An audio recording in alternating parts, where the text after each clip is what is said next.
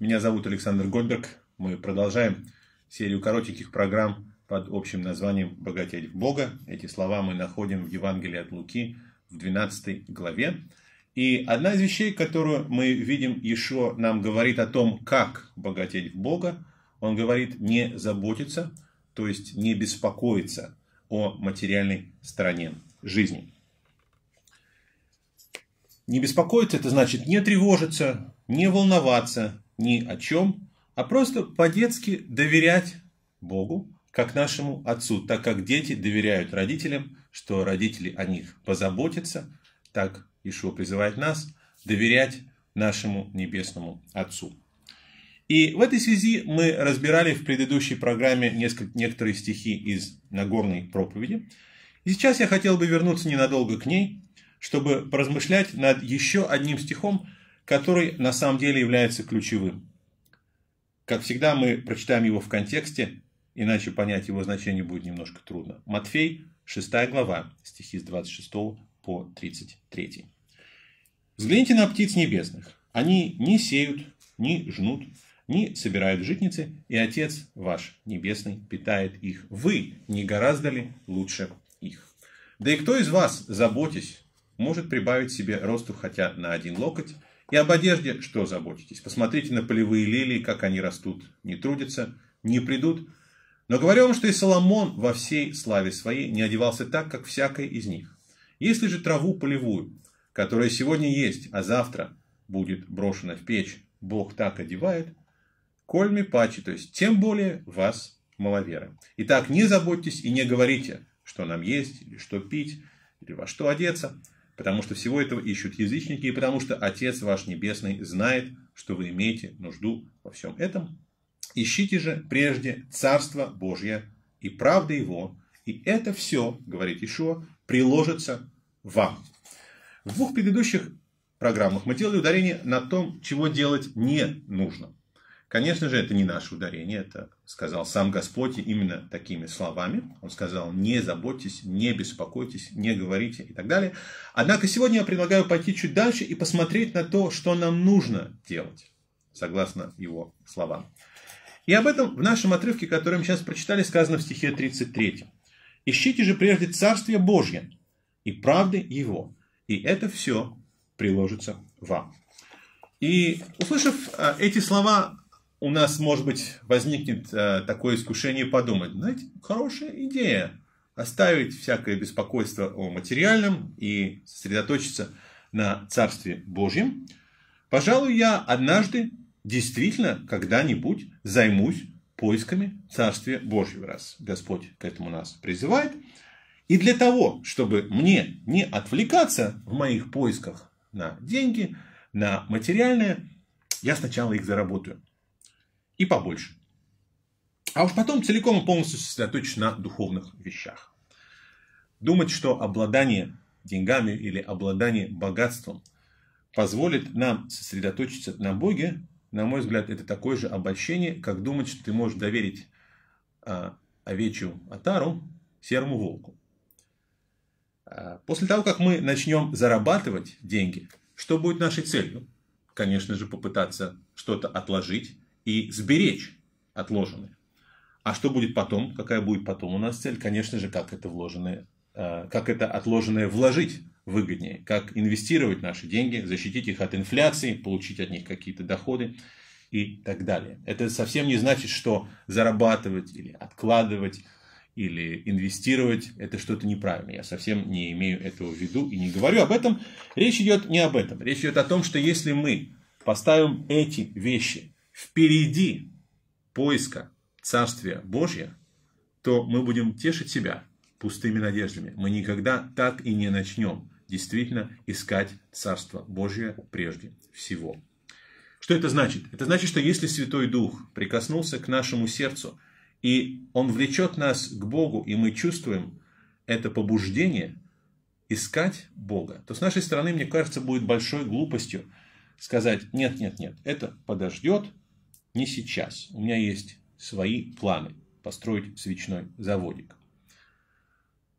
Иешуа рассказал несколько очень сильных притч о том, что второго приглашения на брачный пир может и не быть.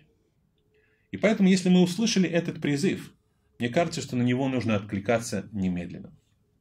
Слово «ищите», которое стоит в нашем тексте здесь, «ищите прежде Царствие Божьего», в греческом языке оно стоит в такой форме, которая означает постоянное действие. Эта форма используется как в 32 стихе, где сказано о язычниках, что язычники ищут, что есть, что пить, во что одеться, они заняты этим поиском. Также оно используется и в следующем стихе, обращенном к ученикам, что вы ищите Царствие Божьего. И таким образом Ешо создает контраст между двумя группами людей. Общее между всеми нами то, что мы все как люди, мы все чего-то ищем. Вопрос лишь в том, чего мы ищем, причем ищем мы этого постоянно. И, то есть мы постоянно к чему-то стремимся. Однако есть большая, принципиальная, говорит еще, разница между язычниками и учениками Господа. Первые, то есть язычники, постоянно заняты своими материальными и финансовыми нуждами. И они не просто заняты ими, они стремятся к их удовлетворению. Вторые, то есть ученики Иешуа, устремлены в другом направлении. Они устремлены к Царству Божьему и к Его правде или правильности. И в этой связи я хочу задать два вопроса, на которые попытаюсь ответить в ближайшие несколько минут. Что это значит? Искать Царство Божье и правды Его, и как это делается в реальной жизни. Прежде чем мы ответим на них, давайте попробуем обратить внимание на потрясающее обетование – которое дает Ешо своим ученикам. Он говорит, и это все приложится вам. Это все это то, чего ищут язычники. То есть еда, питье, если говорить одним словом, то это удовлетворение наших материальных потребностей. И приложится даже и в русском языке, и также в греческом, это слово, которое стоит в пассивном залоге, то есть это будет вам дано, это будет вам прибавлено, или это будет доставлено вам. Если мы таким образом перестанем в первую очередь, говорит Господь, стремиться к материальному, а вместо этого устремимся к Божьему Царству и к Его праведности, то материальное будет нам, он говорит, доставлено. И вопрос, кто же займется этими доставками или поставками еды, и пищи, и, э, простите, одежды, и пищи, и всего прочего, что нам нужно, конечно же, это сделает Господь Бог. И чтобы мы не сомневались, потому что когда мы слышим, Господь Бог позаботится об этом, Господь даст тебе еду, Господь даст тебе то, Господь даст тебе все, иногда у человека может возникнуть мысль, ну, Господь сам, Он там, на небесах сидит, а я здесь, и с небес пока что ничего не падает. Как-то вот мне э, на стол ни, ни разу буханка хлеба с небес не упала, и кипяточек мне с небес тоже не, не налип в чашку ни разу. Ну, как это Господь сделает? О чем речь? За этой мыслью стоит просто сомнение. И для того, чтобы мы не сомневались в Божьем желании и способности кормить и одевать нас, Ешо призывает нас посмотреть, говорит он, на, посмотрите на творение Божье. Он говорит, посмотрите на птиц. Бог кормит этих птиц. Вы. Как насчет вас? Действительно. А что насчет нас? Как насчет нас? Иногда верующие люди страдают от очень низкой самооценки. Они рассуждают, может быть, несознательно, но где-то в глубине сердца есть такое чувство, есть такое ощущение. Кто я такой? Чтобы Богу, самому Богу было дело до маленького, ничтожного меня. Да я же ничего особенного из себя не представляю. Кто я такой? И это еще в лучшем варианте, чтобы не сказать хуже, что я ниже плинтуса и так далее, и так далее, и так далее. Неверующие люди а, зачастую думают, что верить в Божью персональную заботу, как мы иногда говорим на иврите, ашгаха протит, то есть персональное попечение Всевышнего о тебе, это признак неуравновешенности психики. Я помню прекрасно, как когда я стал верующим человеком, моя мама начала мне говорить, ты что вообще о себе думаешь? Что ты о себе возомнил? Что Бог, сам Бог слушает твои молитвы, ну что, делать больше нечего, неким больше заняться. Кто ты такой, что он будет слушать тебя? Что ты вообще себе взял в голову насчет самого себя? И, безусловно, я полностью согласен с тем, что возомнить о себе больше, чем ты являешься реально, это грех, это гордыня. Но давайте вспомним вот что. В книге Берешит написано, что человек создан по образу и подобию Божьему. И во всем творении таким, по образу и подобию Божьему, больше не создан никто. Другими словами, человек, мы с вами, это венец творения, наивысшее из всех Божьих творений. То есть, если расставить все, что створил Бог по порядку важности и ценности, то мы будем не на последнем месте, а на первом. И в этой иерархии мы стоим даже выше ангелов. Они ниже нас. И над нами стоит только сам Творец. Ну как? Как вам такая мысль? По-моему, это совсем неплохо, если это применить к нам с вами. То есть кошка, черепаха, устрицы и всякая прочая живность, а также весь растительный мир, они в этой иерархии стоят ниже нас. А в чем же тогда проблема? Почему нам так трудно поверить в то, что Творец всего, что мы видим вокруг себя в природе, заботящийся, говорит Иешуа, обо всем своем творении, он также позаботится и о нас с вами, что он хочет и способен это сделать. Почему нам трудно в это поверить? Ах, ну да, как же это я забыл. Проблема в том, что мы грешим. Поэтому мы считаем себя недостойными Божьего внимания и попечения. Так что птицы, которых Бог, предположим, да, кормит, и трава полевая, которую Бог, предположим, да, одевает, это хорошо, думаем мы. Где-то, может быть, иногда в самой-самой глубине своего сердца есть какой-то червь сомнения, который побуждает нас рассуждать таким образом. Да, может быть, Бог кормит и одевает и птиц, и траву, но к нам это не имеет никакого отношения. Мы-то ведь не птицы, а грешные люди – Поэтому с Богом у нас совсем все не так просто, думаем иногда мы, как у птиц и у цветов. Знаете, с одной стороны, это действительно правда. У птиц и цветов нет заповедей, у них нет совести, у них нет способности слушаться, любить или, соответственно, не слушаться и грешить, и не любить, быть эгоистом. А с другой стороны, есть еще кое-что, что, мне кажется, мы должны учесть. Мы должны учесть, что Бог очень добр ко всем своим созданиям. Мы, наверное, никогда полностью не поймем Его великой, огромной, потрясающей доброты. Во всяком случае, здесь, в этой жизни, я не думаю, что мы ее усвоим сердцем до конца. Но Он очень и очень добр, и милостив, и терпелив к нам. И поэтому, когда Он смотрит на нас с вами, первое, что Он видит, это так важно, на мой взгляд, понять. Первое, что Он видит, глядя на нас, это не грязь и не мерзость наших грехов, а свое творение, вымазавшееся в грязи. И не просто творение, какое-то творение, а свое уникальное и наивысшее творение, свое подобие, свой образ. Он, конечно, замутнен. И, конечно, он искажен. Но он все-таки сохранился в нас. И поэтому Ишуа говорит, если Бог так одевает траву, которое сегодня есть, а завтра будет брошено в печь, то тем более он оденет и накормит тебя. В другом месте он говорит, вы дороже многих малых птиц. Нам нужно иногда задать себе этот вопрос. А сколько я стою? Сколько? Какова моя цена? И здесь есть еще одно отличие. В отличие от цветов, это то, о чем говорит здесь Ишуа, вы есть и сегодня, и завтра. Цветы завтра будут выброшены в печку. Завтра они сгниют. Вы есть и сегодня, и завтра, и целую вечность. Каждый из нас. Мы проведем вечность или в присутствии Бога, или в менее приятном месте, но мы будем жить вечно. Всегда мы будем. И раз Бог так заботится о наименьших своих созданиях, говорит Иешуа, то, конечно же, о нас он заботится уж явно больше, чем о них. И поэтому у нас не должно быть сомнений в том, что Бог с радостью даст нам все, что нам нужно. Однако, как мы уже сказали, наши отношения с ними такие, как у птиц.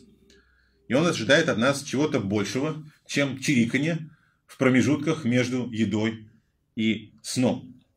И поэтому выполнение, э, обещание Иешуа о том, что все это приложится вам, связано с выполнением нами одного важного условия. Мы его уже читали. Ищите прежде Царство Божье и правды Его. Что же он имеет в виду, говоря эти слова?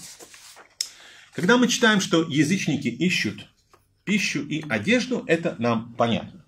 Пища, питье – это совершенно знакомые и конкретные вещи. И как их искать, тоже понятно. Ты идешь на рынок или в магазин, или если никуда не хочешь выходить, сегодня можно просто зайти в интернет на соответствующий веб-сайт, и там поискать, и там найти все, что тебе нужно. А что такое царство Бога? И что такое правда или праведность Божья? Как их искать и как их находить? И еще, как понять, что поиск царства и праведности и стремление к ним должно быть у нас таким же постоянным занятием, как у язычников постоянное занятие поиски питья и пищи. Ведь почему мы постоянно занимаемся этими поисками еды и питья? Потому что мы покушали, поели, а через 4 или 5 часов наш желудок снова просит наполнить его. Мы израсходовали энергию, которую получили. Неужели с Богом все обстоит точно так же? Ведь разве, можно сказать, мы не получаем его праведность однажды, раз и навсегда, как получил ее наш праотец Авраам? Ведь написано, что он поверил Богу, когда тот пообещал ему потомство, и эта вера вменилась ему в праведность. Если точно так же и у нас, то зачем нам снова искать то, что нам уже дано раз и навсегда?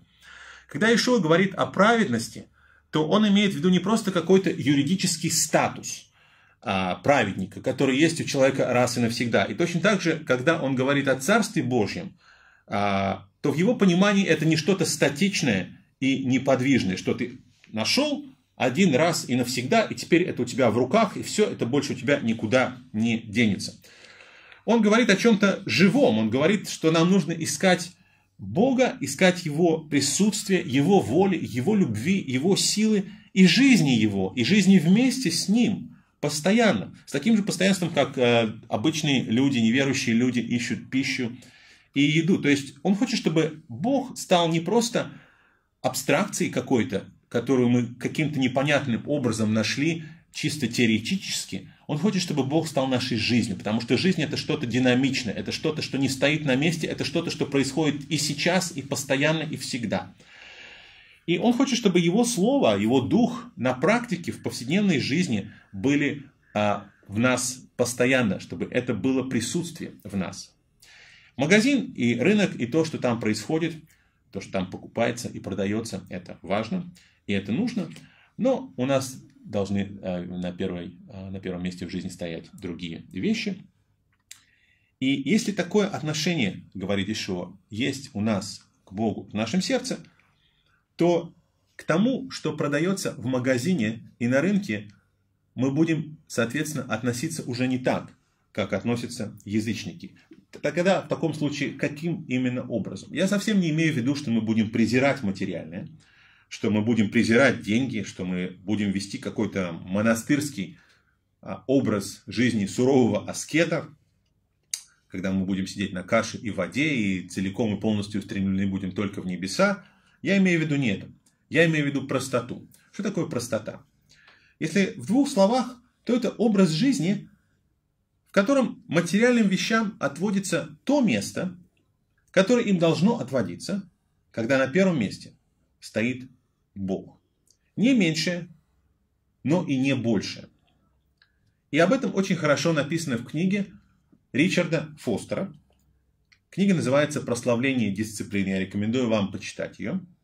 Он говорит, что простота – это прежде всего три внутренних позиции, которые мы можем занять, а также некоторые внешние привычки. И в следующей части нашей программы мы поговорим и о том, и о другом. Оставайтесь с нами. Спасибо.